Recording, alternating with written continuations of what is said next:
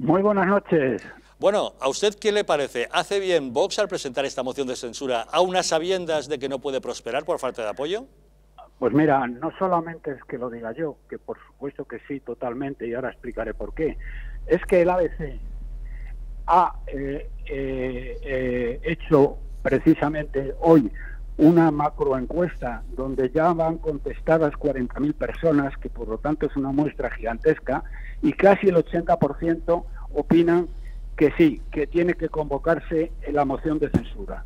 Y la razón es muy obvia. Eh, la cantidad de mentiras, tú mismo lo habías señalado hace un momento en lo del grupo este de expertos en sanidad, eh, es que es en todo, es que vuelve de Bruselas y de Bruselas este señor eh, que recibe unos aplausos tremendos no hizo absolutamente nada, le llamaban en Bruselas el sin papeles, iba a las reuniones sin papeles, no abría la boca más que para decir tonterías. Y al final firmó lo que le pusieron encima de la mesa. Es decir, hay que hacer una enmienda a la totalidad de este gobierno y lo que no entiendo es la postura de Casado, que está pareciéndose cada día más como un huevo a otro huevo, ¿eh? Eh, se está pareciendo cada día más al señor Rajoy, que está sentada, que esperó sentado en una hamaca fumándose un puro a que le cayera el gobierno. Pero, don Roberto, ¿usted qué le dice a aquellas personas que opinan que una moción de censura que se va a perder, al final lo que hace es fortalecer al presidente del gobierno al que pretende derribar? Mira, eso es una gilipollez. Oh, usted, perdone, yo, le pregunto lo que la gente dice. no tiene ni idea de política ni sabe dónde tiene la mano derecha. De lo que se trata aquí es de poner contra las cuerdas durante unos días ¿eh? y hacer un pliego de cargos de todas las barbaridades que están haciendo estos señores, de cómo nos están llevando a la ruina, de cómo han llevado a la muerte a más de 50.000 personas, etcétera, etcétera. Es decir, dar una visibilidad mediática y un protagonismo a, mm, a lo que esta gentuza eh, lo que eh, eh, está haciendo con España. Y eso, la única manera de hacerlo es es mediante una moción de censura. Lo que no se entiende bien es la postura de Casado. Mira, pero si es que estamos en lo mismo.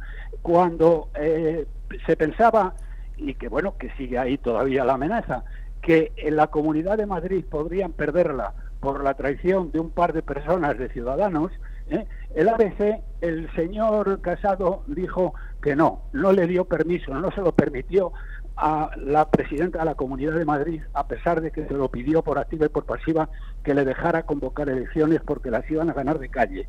Bueno, pues Casado se lo prohibió.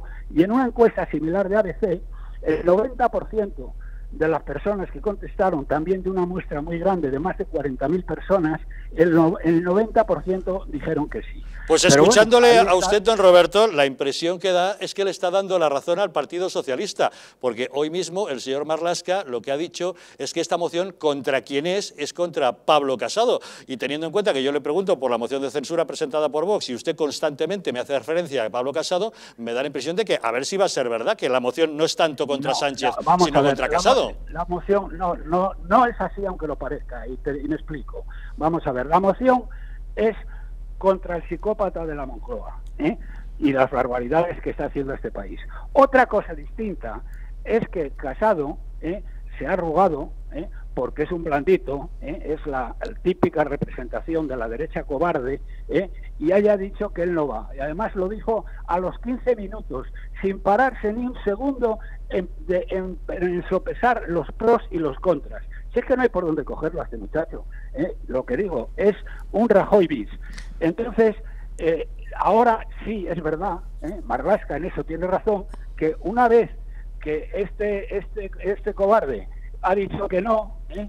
que no, porque no sé, porque es para perderla, cuando, bueno, esto me recuerda las críticas que recibió Ciudadanos cuando teniendo eh, no tenía mayoría, pero que nadie entendió por qué nunca presentó una moción de censura en Cataluña contra el gobierno. ¿eh?